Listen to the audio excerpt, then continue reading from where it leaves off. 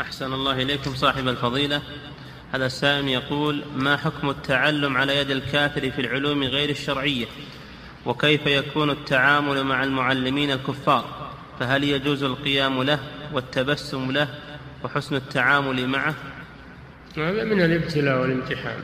التعلم عند الكفار في أمور الدين هذا لا يجوز قطعا.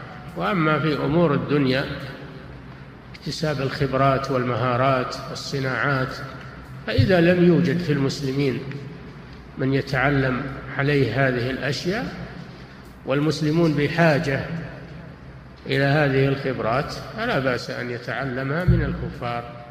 لكن على أن يتمسك بدينه وعقيدته ولا يخضع للكفار أو يلين للكفار في أمور دينه. نعم.